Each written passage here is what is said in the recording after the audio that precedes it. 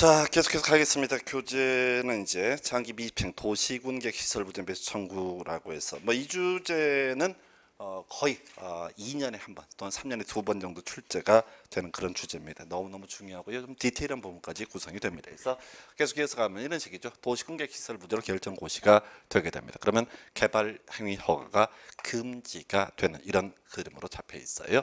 자, 그랬을 때 아, 만약에 이제 도로학교 공원을 실시계획 작성해서 인가고시 이런 과정을 통해서 사업이 이루어지게 되면은 예, 이런 경우에는 별 문제가 되지 않는데 수용도 하게 되겠죠. 그런데 도로 학교 공원 용지를 묶어놓고 허가는 금지해놓고 장기간 사업이 시행되지 않는 경우 있습니다. 그래서 이때 이제 음, 문제가 되는 것이 매수 청구라고 하는 개념이 될 것이고요.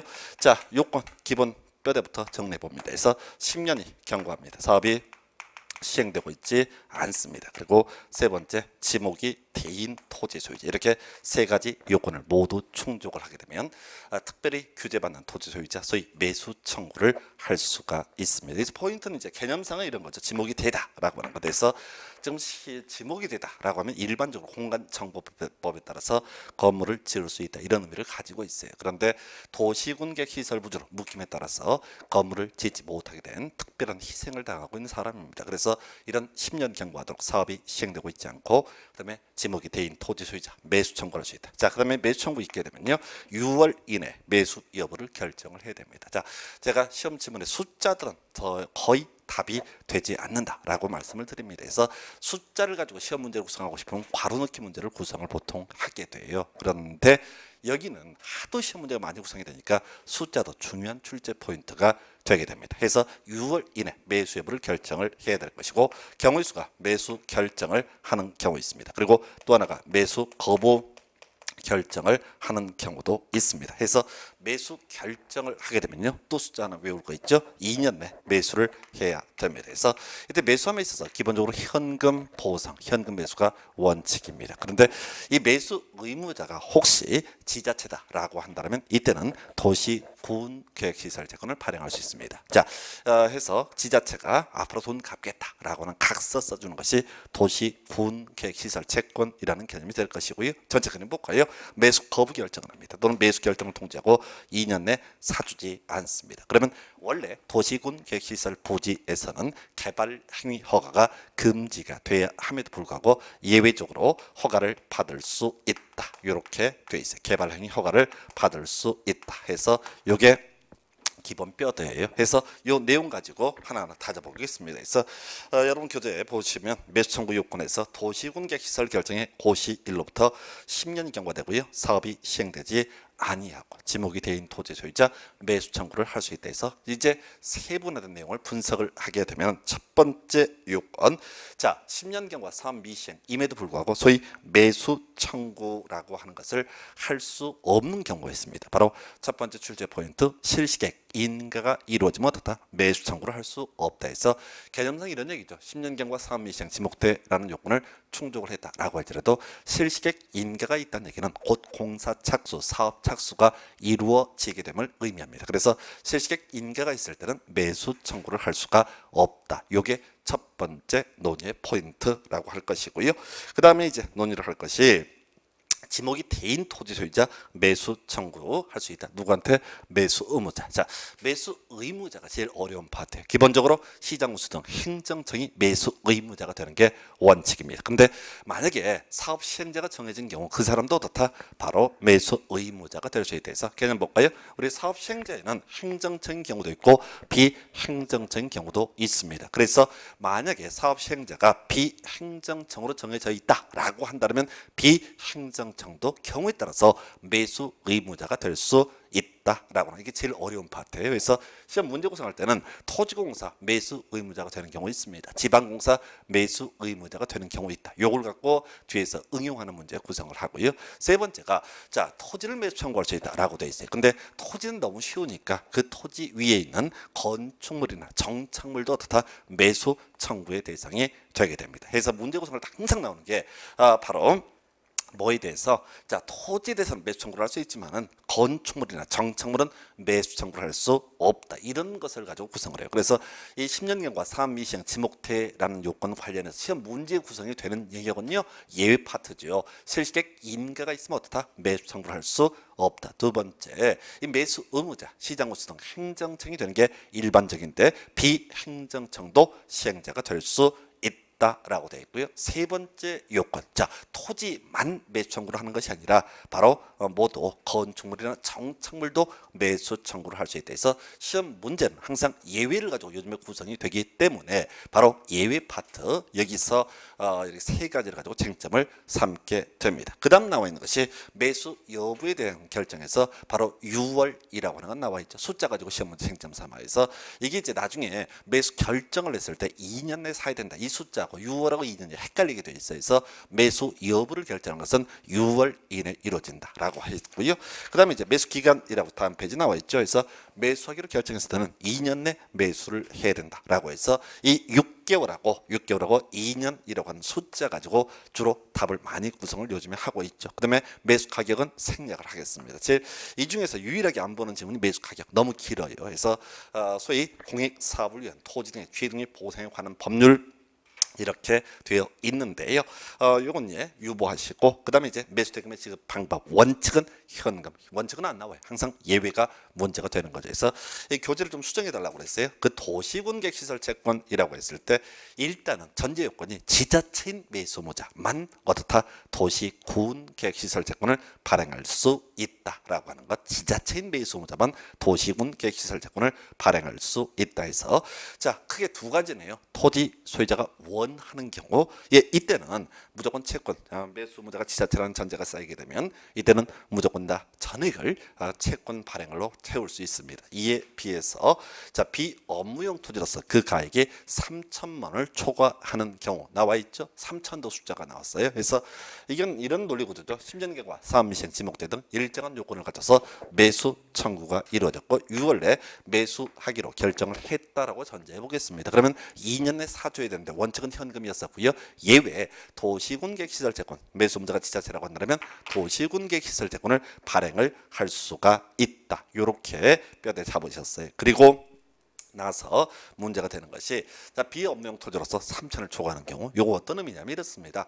지금 매수 청구했는데 1억짜리 물건, 1억짜리 물건. 그런데 이 사람은 현금을 달라고 난리굿을 치고 있습니다. 그랬을 때 매수 의무자가 지자체라고 한다면 3천을 초과하잖아요. 그래서 3천을 초과하는 그 금액 7천만 원에 대해서는 강제로 채권 보상도 가능하다라고 해서 이 금액 3천을 가지고 2천, 5천 이런 식으로 해서 답을 뽑았던 바가 있습니다. 해서 이렇게 해서 바로 지자체 매수무자 채권 보상할 수 있고 그 밖에 이런 도시군객 시설 채권의 상환 기간이라고 하는 10년을 보면서 조례로 정하는데 중요치 않은 주제가 되겠습니다. 예. 그리고 또 답을 뽑는 게 뭐냐라고 했을 때 이 매수 거부 결정을 하거나 매수 결정을 통지하고 2년 내 사주지 않는 경우가 있습니다. 이때 원래 도시군객 시설 부지에서는 개발 행위 허가가 금지가 돼야 함에도 불구하고 원래 도시군객 시설부터는 건물을 지을 수 없다고 그랬어요. 근데 예외적으로 허가를 해 줄 수 있다라고 해서 3층 이하의 단독주택, 3층 이하의 제1종 근생시설 등 설치를 허가할 수 있다. 이종이 있는데 시험에 안 나오고요. 그 밖에 공작물도 설치를 허가할 수 있다. 있다 해서. 자 항상 시험 문제 구성할 때는요 3층 이하의 단독 주택 대신에 다세대 또는 공동 주택에서 틀리게 구성을 합니다. 앞에서 우리 건축물의 용도 분류를 공부하실 때 단독 주택에는 협의의 단독 주택, 다중 주택, 다가구, 공간 이런 게 있었는데 또 공동 주택에 아파트를 다세대 기숙사 나와 있는데요.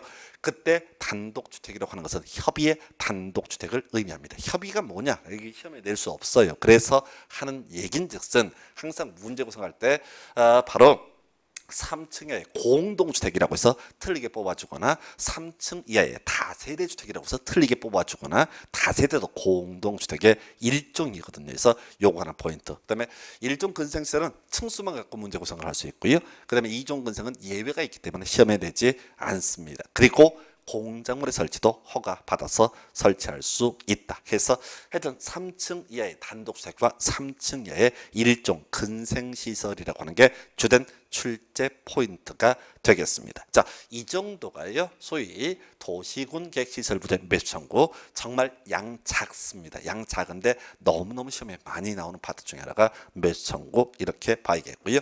이 기반 시설의 설치성 비례 혹은 도시군 계획시설 사업 관련해서 딱 한 문제만 찍는다라고 한다면 가장 유력한 문제가 이 매수 청구 제도가 되겠습니다. 자, 이렇게 보셨고요. 그 다음에 이제 해제 결정 등은 큰 쟁점 안 돼요. 이게 지금 보시다시피 쭉 몇 개 지문을 다 지문 없이 여러분 보- 교재에 쭉 나열을 돼 있는데요.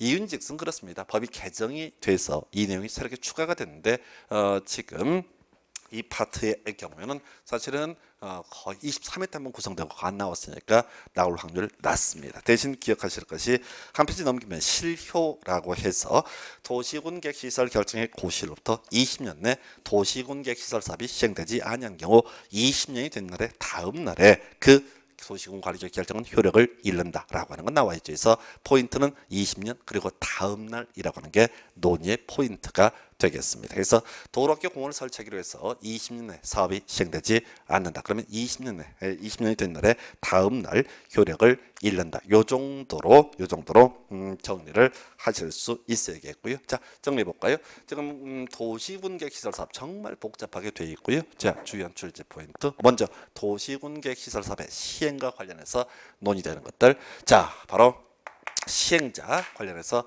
행정청은 별 쟁점이 안 되죠. 한편 비행정청이라고 하는 것 여기서 논의 쟁점 토지공사, 지방공사 아무런 요건 없이 시행자가 될 수 있다. 시험 문제는 항상 틀린 것을 고르시오. 동의를 얻어야 된다. 두 번째 사업 시행자가 갖는 특권 중에서 어, 이런 거 있었죠. 분할에 시행할 수 있다. 일시 사용할 수 있다. 그리고 수용을 할 수가 있다. 이런 게 있었단 말이죠. 해서 요 관련해서 문제가 되는 것들 이렇게 정리를 할 수 있습니다. 그래서 어, 지금 이제 음, 어, 수용 관련해서 사업 인정 및 고시가 있는 것으로 본다라는 표현 앞에는 뭐가 실시 계획의 고시라고 하는 거 필요하고요. 그리고 또 하나 문제 삼을 수 있는 것들. 자, 행정심판. 자, 출제 포인트는 행정청이 아닌 시행자, 지정한 자에게 행정 심판을 제기한다. 그리고 실시계 인가 관련해서는 조건부로 인가를 할 수 있다. 그리고 비용 부담이라는 것이 제일 어려운 파트가 될 텐데 행정청의 시행자 50%까지 보조 이용자 받을 수 있고 여기저기 손을 내밀 수 있다. 행정청이 아닌 시행자의 경우는요. 어, 3분의 1까지 보조 이용자를 받을 수 있고요. 대신 손을 내밀 수 없다 라고 하는 것. 그리고 10년 경과 사업 미시행 지목대 세 가지 조건을 모두 갖추면 매수 청구를 할 수가 있다라고 해서 출제하는 포인트 만약 실시계 인가가 이루어졌다면 매수 청구를 할 수 없다. 두 번째 요건 어, 바로 어, 지목이 돼라고 할지라도 이때 자, 토지만 매수 청구할 수 있는 것이 아니라 어, 건축물, 정착물 모두 매수 청구할 수 있다. 그리고 마지막 쟁점 매수 의무자라고 했을 때이 매수 의무자 기본적으로 행정청인데 비행정청도 사업 시행자로 지정을 받게 되면 매수 의무자가 될 수 있다. 자 매수 청구 있게 되면 6월 이내 매수 여부 결정해야 되고 2년 내 사줘야 됩니다. 원칙은 현금이었었고요. 예외 지자체 매수 의무자의 경우에는 바로 도시군객시설재권 토지 소유자가 원하거나 혹은 혹은 어, 비업무용 토지로서 그 가액이 3천을 초과했을 때 그 초과하는 부분에 대해서는 강제로 채권 보상을 할 수가 있다라고 하는 것. 따라서 행정성이 아닌 시행자가 매수 의무자가 되는 경우는요. 어, 지자체가 아니기 때문에 이 사람은 소위 어, 바로 도시군객 시설 채권을 발행을 할 수 없다. 마지막 쟁점 매수 거부 결정 등이 있게 되면 자 어, 3층 이하의 단독주택, 3층의 일종 근생시설, 공작물 등 설치 허가받아서 설치할 수 있다. 허가의 범주 등이 주요 포인트고요. 그 다음에 20년에 사업이 시행되지 않으면 20년이 된 날에 다음 날 효력을 잃는다 해서 실효의 문제까지 정리해봤고요. 요 다음 날 얘기를 항상 기억할 것이 어, 시가화 유보 기간이 끝난 날에 다음 날 효력을 잃는다. 이런 거 있고요. 그리고 또 하나 문제 삼아서 기억하실 만한 것 중에 하나가 그런 게 또 있었죠. 어, 지금 실효 관련해서 어, 지금 음, 비교해서 꼭 하나 기억하는 게 도시군 관리계 결정의 고시가 있으면 지형 도면의 고시가 된 날 효력을 잃는다 해서 그것만 다음 날 없어요. 나머지는 다 다음 날인데 그렇습니다. 그래서 이렇게 해서 이제 도시군계 시설 사업 등에 관한 쟁점 확인해 봤고요. 그럼 지구 단위 계획 관련해서 보도록 하겠습니다. 그래서 일단 전체 그림 보셔야 되죠. 자, 관리 계획의 1조 바로 지구 단위 계획. 그럼 지구 단위 계획은 뭘 하자는 것이다? 건폐율과 용적률과 용도 제한, 높이 등을 하자는 것이 바로 지구 단위 계획 이렇게 정의를 하게 됩니다. 그래서 자 문제는 그거죠. 이 건폐율, 용적률, 용도 등을 규제하기 위해서 지구 단위 계획 수립을 할 수가 있고요. 자, 어, 문제는 지구 단위 계획을 수립하기 위한 지역적 범주라고 하는 거, 소위 지구 단위 계획 구역이라고 하는 것이 문제가 되게 됩니다. 그래서 이 지구 단위 계획 구역이라고 하는 거, 자 어, 일단은 지구 계획을 수립하기 위한 지역적 범주를 얘기하고요. 자, 소위 관리 계획 이반 결정 과정을 통해서 지구 단위 계획 구역을 지정을 하게 됩니다. 그래서 자 지구 단위 계획 구역 지정하고 나서 다시 지구 단위 계획이라고 하는 거 두 번을 하게 된다라고 하는 게 논의의 전제. 그래서 일단은 어떤 지역이 지구 단위 계획 구역이다라고 한다면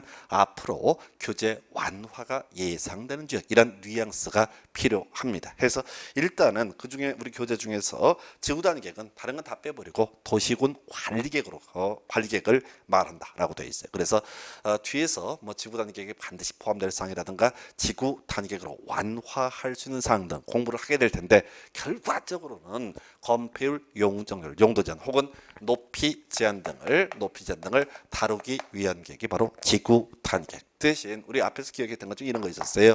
자, 어, 원래 이제 관리 계획이라고 하는 거 입안에서 결정하는 과정 등을 거치게 된다라고 하면서 자, 어, 빠르다, 빠르다 했을 때 바로 지구 단위의 속도가 엄청 빠릅니다. 그래서 엄청 빠른 용도적을 지구 단위계, 엄청 빠른 용도 지구를 지구 단위계, 엄청 빠른 기반설을 지구 단위계. 현실은 99.9%가 다 지구 단위계로 어, 이렇게 어, 행위 제한 등이 이루어지는 게 일반적이에요. 그래서 자 일단은 앞에서 논의했던 것 중에서 지구 단위계가 어떻게 할 수 있다? 생략할 수 있다 라고 해서 이런 거 있었죠. 환경성 검토를 생략할 수 있는 거 뭐가 된다? 지구 단위계 토지 적성 평가를 생략할 수 있는 게 뭐가 된다? 지구 단위계 이렇게 공부를 했던 바가 있습니다. 자 그리고 우리 결정에서도 하나 포인트 있었죠. 자 기본적으로 시장 군수가 위반하면 도지사가 결정을 하는 그런 구조가 돼야 되는데 누가 누가 누가 아, 누가 아, 바로 시장군수가 위반한 지구단 계획은 시장군수가 직접 결정하는 이런 예외도 공부했던 바가 있습니다. 이런 전제에서요.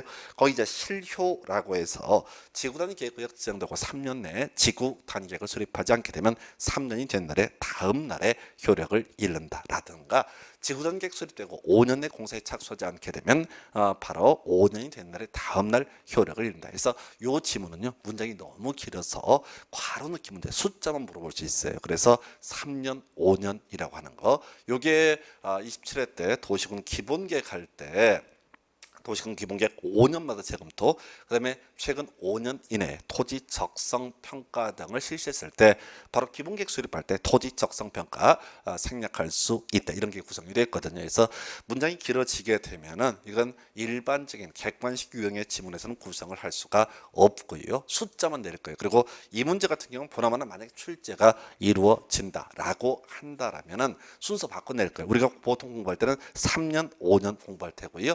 그 다음에 기억, 니은 분명히 순서 기억에다 5년짜리를 위 밑에 있는 걸 위로 올려줄 거여서 5년, 3년 이렇게 출제할 가능성이 있어 보입니다. 이게 27회 때 나왔던 문제 유형과 아, 비슷하게 출제할 수 있는 그런 사안 중에 하나 이렇게 봤고요. 자 본론 들어가서 가장 중요한 쟁점이 되는 거 또 수험생 입장에서 가장 어려운 내용으로 볼 수 있는 것이 바로 지구 단위계였고요. 의무적 지정 대상 지역하고요. 재량적 지정 대상 지역 이렇게 구분을 하게 됩니다. 그래서 이게 이제 수험생 입장에 너무너무 어려운 것이 의무적 지정 대상 지역과 재량적 지정 대상 지역을 비교하는 것 이것이 출제 포인트. 그래서 그 이제 의무적 지정 대상 지역의 정택 10년 시공록 30만이라고 되어 있습니다. 그래서 정비 구역에서 사업이 끝난 후 10년이 경과된 지역, 택지 개발 지구에서 사업이 끝난 후 10년이 경과된 지역에서 정택 10년 이렇게 되어 있고요. 그 다음에 자 뭐가 있냐면 시가화 조정 구역에서 해제되는 지역으로서 면적 30만 이상, 공원에서 해제되는 지역으로서 면적 30만 이상, 그리고 어, 또 뭐가 있죠? 녹지에서 주 상공으로 변경되는 지역으로서 면적 30만 이상 등 나와 있습니다. 그래서 이게 이제 소위 정택 10년 시공록 30만인데 미리 결론부터 말씀드릴게요. 거기 시가화 조정구역 해제 30만이라든가 공원 해제 30만 예 시험에 나오지 않습니다. 왜 거기 괄호 열고 뭐 예외 나와 있단 말이에요. 그래서 이건 출제하면 출제 오류예요. 다 쓸 수도 없고 중간을 빼버리면 출제 오류니까. 그래서 실질적으로는 정택 10년하고요. 녹제서 주상공 30만 요것만 시험에 나옵니다. 그런데 우리가 이제 에, 외우기 편하게 하기 위해서 그냥 단순하게 정택 10년 시공록 30만 이건 어떻게 해라 지정 해야 된다. 요렇게 이제 기계적으로 외우시는 거예요. 그래서 이 파트는 말이죠. 문제를 푸- 풀어갈 때 어떻게 가야 되냐면 앞에 내용을 외우시게 되는 순간 말려버려요. 그죠? 우리가 외웠던 건 딱 한 가지입니다. 재량은 단 하나도 외우지 않았고 의무만 다 외운 상태거든요. 그래서 시험 문제를 볼 때 뒤를 보셔야 돼. 지정하여야 한다라는 표현이 있게 되면 그 앞에 뭐 있어야 돼? 정택 10년 시공록 30만 있으면 오른 편 없으면 틀린 표현. 한편 지정할 수 있다라는 표현이 있게 되면 그 앞에 뭐만 없으면 돼요. 정택 10년 시공록 30만만 없으면 어떻다 오른편 이렇게 구성하는 거예요. 그래서 이게 앞을 보는 순간 재량적 지정 대상적이 수천 가지를 만들어낼 수 있기 때문에 또 시험에 별의별 게 다 나오기 때문에 이거를 개별적으로 외워서는 풀 수 없습니다. 그래서 뒤쪽을 보시자고 지정해야 된다라는 표현 앞에 있으면 그 앞에 뭐 있어야 한다? 정택 10년 시공록 30만 지정할 수 있다라는 표현이 있게 되면 어떻다고요? 이때는 자 어, 바로 어, 정택 10년 시공록 30만만 없으면은 오른 편 이렇게 단순하게 접근을 해 주시는 것이 필요합니다. 그래서 자 이렇게 해서 이제 정택 10년 시공록 30만 얘기를 한번 정리를 해 드렸고요. 요건 지문 가지고 분석을 해 보겠습니다. 여러분 자료 보시면 첫 번째 박스예요. 자, 첫 번째 박스 1번 지문 제일 뒤에 보니까 지정 하여야 한다라고 되어 있어요. 근데 그 앞에 뭐 없어요? 정택 10년 시공록 30만은 없습니다. 그래서 이 지문은 틀린 표현이 되는 거예요. 첫 번째 지문 보니까 도시개발법에 따라 지정된 더 20만 제곱미터의 도시개발구역에서 사업이 끝난 후 10년이 경과된 자 이런 표현 쓰고 있죠. 그럼 이것저것 다 떠나서 최소한 이건 정택 10년 시공록 30만은 아니다. 그래서 이 지문은 어떻다? 틀린 표현 이렇게 가는 거예요. 2번 지문이요. 자 보니 보니까 지구 단위 계획을 수립했는데 약간 응용하는 지문이죠. 지구 단위 계획 구역을 지정해야 된다라고 한다면 3년 내에 지구 단위 계획 수립해야 되거든요. 그래서 지금 지구 단위 계획을 수립해야 된다라는 표현 앞에 뭐 있어야 돼요? 정택 10년 시공록 30만 있어야 되거든요. 근데 택지 개발지구 어, 택지 개발 사업 5년 했으니까 이 지문은 틀린 표현이 되게 되는 겁니다. 그 다음에 3번 지문이요.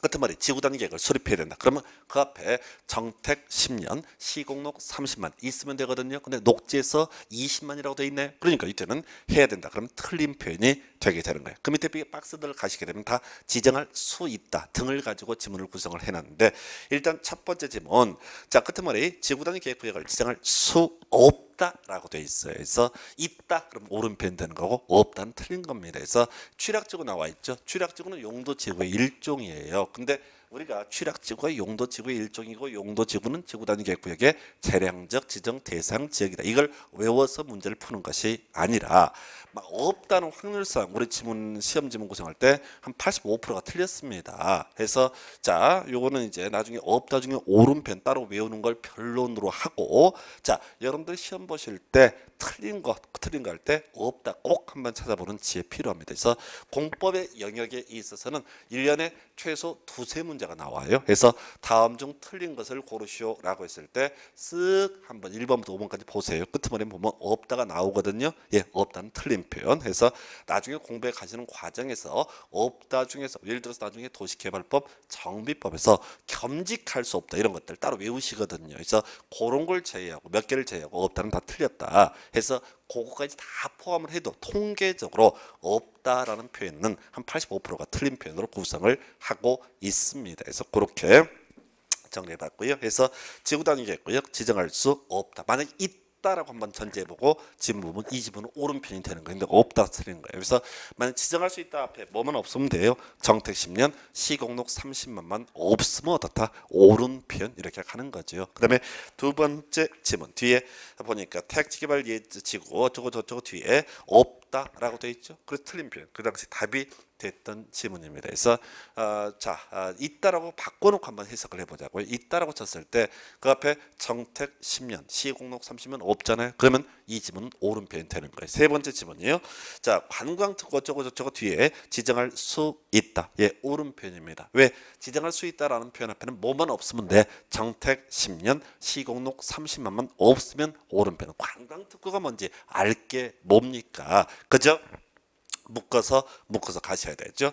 그다음 네 번째 질문요. 뒤에 보니까 지구 단위 계획 구역으로 지정할 수 있다. 지정될 수 있다라고 되어 있어요. 두 번이 나왔던 지문이죠. 자, 그러면 이 지문을 바라보실 때 어떻게 봐야 된다고요? 지정할 수 있다라는 표현이 있으면 그 앞에 뭐만 없으면 돼요. 정택 10년, 시공록 30만만 없으면 어떻다? 표현 이렇게 해석을 하는 거예요. 그 다음에 5번 지문이요. 약간 지문을 구성을 바꿔봤어요. 지구단위 계획구역을 관리 계획으로 지정될 할 수 있다. 그러면 그 앞에 뭐만 없으면 돼? 정택 10년, 시공록 30만만 없으면 어떻다? 표현 이렇게 해석을 하는 거죠. 그래서 앞에 내용을 보는 게 아니에요. 뭔지 따지는 게 아니라 그저 우리가 아, 문제를 풀어갈 때 지정해야 된다라는 표현이 있게 되면 그 앞에 정택 10년, 시공록 30만 또는 지정할 수 있다라는 표현이 있기 때문에 그 앞에 뭐만 없으면 돼? 정택 10년 시공록 30만만 없으면 옳은 편. 이렇게 단순 무식하게 가는 거야. 그래서 거기 재량적 지정 대상적 경우수를 따지면요. 한 만 가지 이상 만들어낼 수 있어요. 절대 외울 수 없어요. 그리고 뭐 6번 지문인가요? 이게 이제 그 당시 답이 됐었는데 말이 지정될 수 있다. 제1이라고 되어 있어요. 그러면 그 앞에 뭐만 없으면 돼요? 바로 정택 10년 시공록 30만만 없으면 어떻다? 옳은 편 이렇게 해석을 하게 됩니다. 그래서 지구단 계획구요. 도시적 위 지역이라 할지라도 지정될 수 있다. 모르죠. 근데 지정될 수 있다라는 표현 앞에는 뭐만 없으면 되니까 정택 10년 시공록 30만만 없으면 어떻다? 옳은 편이 되기 때문에 이 지문은 표현이 되게 되는 겁니다. 그래서 이 정도까지 해서 지금 이 문제가 너무너무 까다로워요. 근데 규칙을 딱 정해놓고 접근을 하시게 되면 해야 한단지 할 수 있단지 요거 가지고 지금 한 10년 동안 문제 세 번인가 네 번 답을 뽑고요.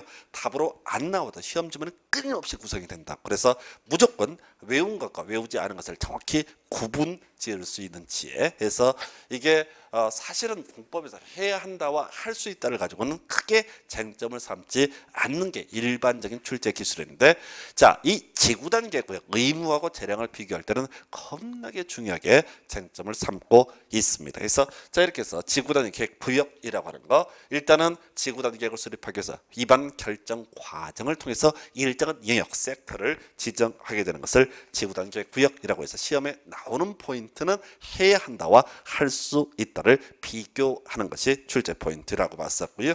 그 다음에 이제 논의를 할 것이 그 밑에 이제 그 다음 페이지에 지구 단위 수립 기준이라고 하는 건 나와 있습니다. 그래서 자 이게 답이 한번더 있었죠. 그래서 우리 공법에서는 기준 딱 하나를 제외하고 무조건 다 국토 교통부 장관이 정한다 해서 정말 간단하면서도 답을 자주 뽑는 지문에서 광역 도시계획 수립 기준, 도시군 기본 계획 수립 기준, 도시군 관리 계획 수립 기준, 지구 단위 계획 수립 기준, 용도 구역 중에서 용도 구역 관련해서 입지 규제 최소 구역 계획 수립 기준, 뭐 하여튼 개발 밀도 관리 구역 지정 기준, 기반 시설 부담 구역 지정 기준, 기준, 기준, 기준은 모두 국토 교통부 장관이 정한다. 이렇게 기억을 해 주실 것 이렇게 봐야겠고요. 거의 지구 단위 계획의 내용이라고 하는 게 있습니다. 그래서 다른 거 빼버리고 소위 필수적 포함상 두 가지 기, 건 두 가지만 기억을 하시면 됩니다. 그래서 지구 단위 계획에 반드시 포함되어 거 기, 건이라고 되어 있어요. 그래서 기반 시설의 배치와 규모 기 하고요. 그 다음에 건축물의 건폐율, 용적률, 용도 제한, 높이의 최고한도, 최저 한도라고 하는 거. 그래서 요거는 그 세트를 보셔야 돼. 자, 이 지구 단위 계획은 관리 계획의 일종이니까 건폐율하고요, 용적률, 용도 제한. 그리고 우리가 건폐율, 용적률에서 간접적으로 나오는 규제가 높이 제한이라고 하는 것이 될 텐데, 그저 이 그림 세트를 잡아 주시는 게 중요하다 해서 자 결과적으로 지구 단계에 반드시 포함될 사항 기반 시설의 배치 규모는 몰라도 좋아 대신 꼭 알아야 될 게 건축물의 건폐율 용적률 어, 건축물의 용도 제한, 건축물의 높이의 최고한도 최저한도 해서 높이까지만 가시면 됩니다. 그래서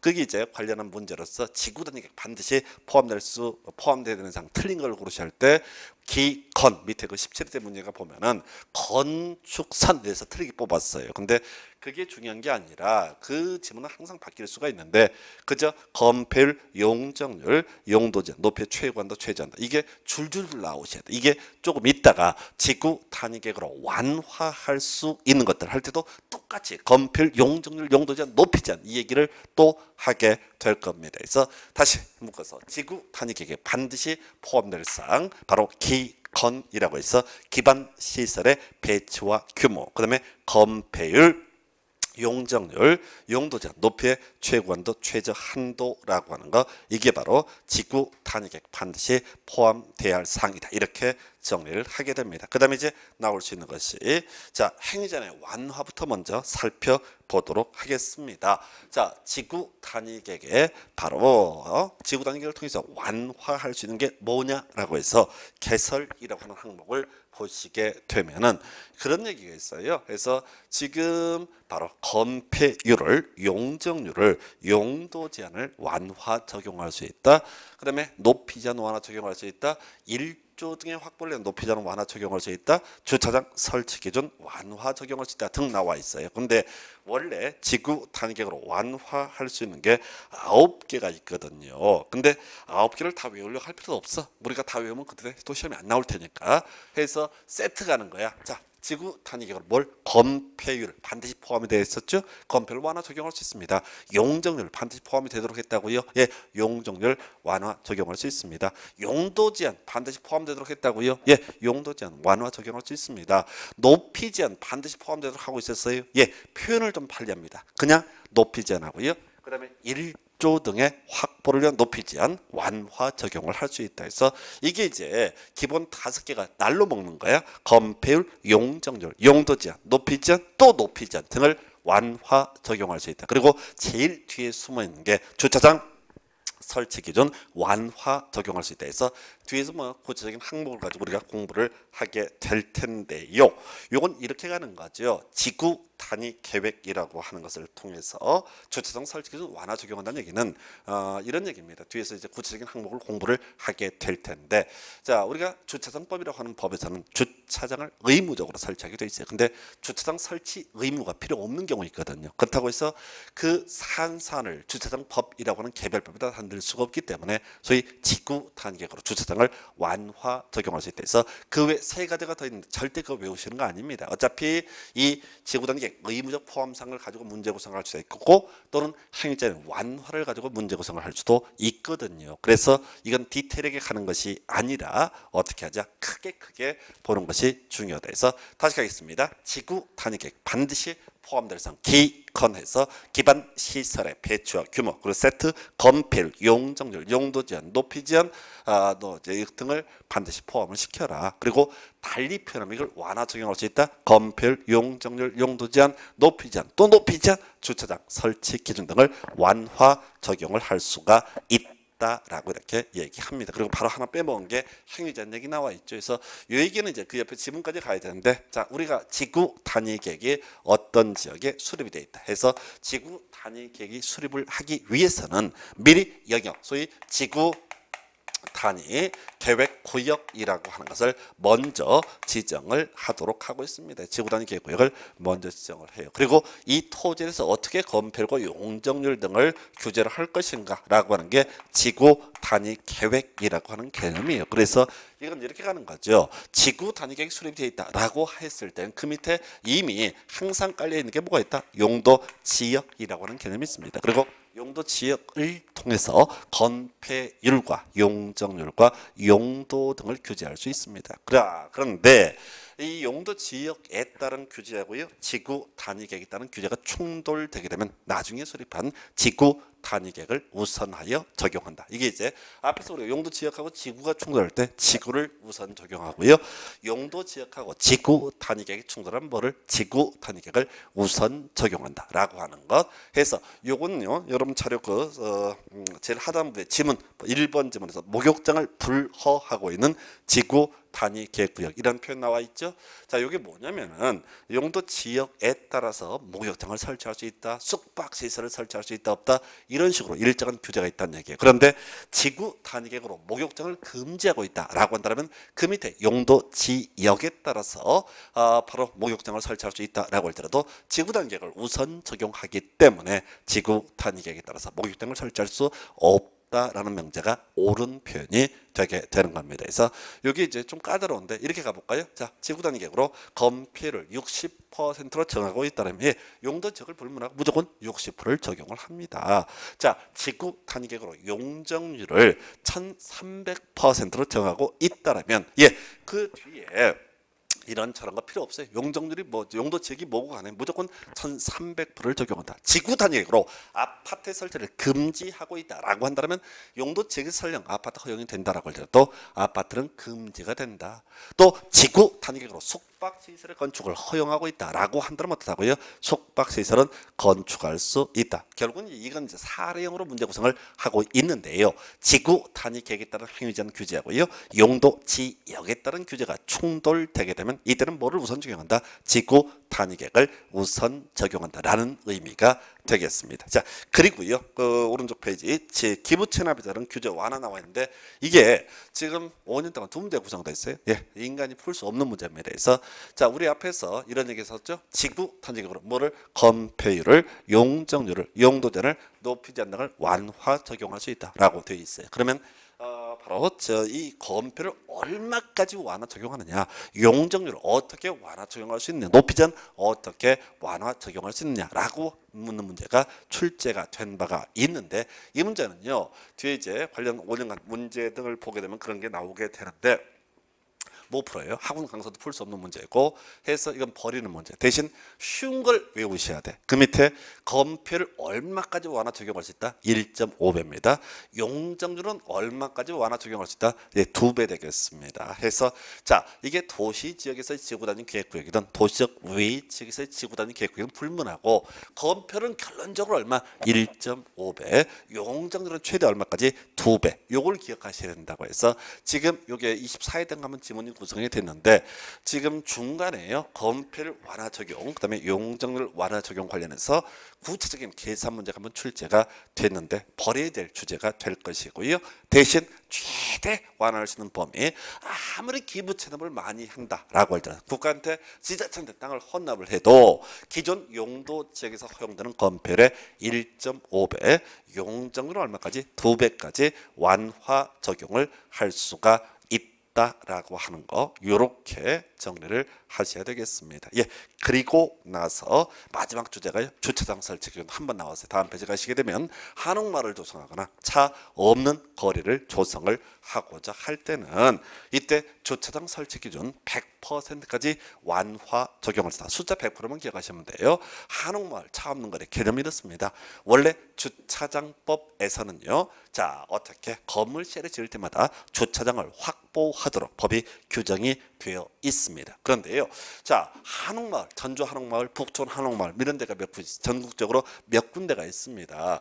근데 이 한옥마을에서는요 어, 그랜저 몰고 들어가면 모양새 웃깁니다. 민속촌 같은 생각해 보세요. 어그 뭐지 저 가마 들고 가는 뒤에서 빵빵 해갖고 아니거든. 해서 차, 주차장 차가 못 들어오게 막아놨다 그러니까 이 한옥마을은 굳이 해석하면 그냥 걸어다니는 동네예요. 그러니까 어, 주차장을 확보할 실익이 있다 없다? 없다. 그런데 주차장법에서는 한옥마을을 미처 생각을 못한 거야. 그러니까 건물 지을 때는 무조건 주차장 확보해 라고만 규정을 하고 있다는 얘기죠. 그래서 나온 얘기가 바로 뭐라고요? 그런 경우에 그런 경우에 어, 주차장법을 배제하는 방법이 없다는 얘기죠. 그래서 지구 단위 계획는 형식으로 아예 설치 의무가 면제가 되는 거 100%까지 완화 적용을 할 수가 있다. 이런 구조예요. 또 하나가 바로 뭐냐면은 차 없는 거리 그것도 시험에 안 나와. 그래서 저 인사동 차 없는 거리 이런 데 건물 지을 때 어, 주차장 설치 무 필요 없거든요. 그래서 어, 지구 단위 계획을 통해서 주차장 설치물을 면제를 하게 된다. 해서 자 이렇게 해서 이제 지구 단위 계획에는 쟁점까지 확인해 드리고 잠시 쉬었다가 개발 행위 허가부터 이어서 가도록 하겠습니다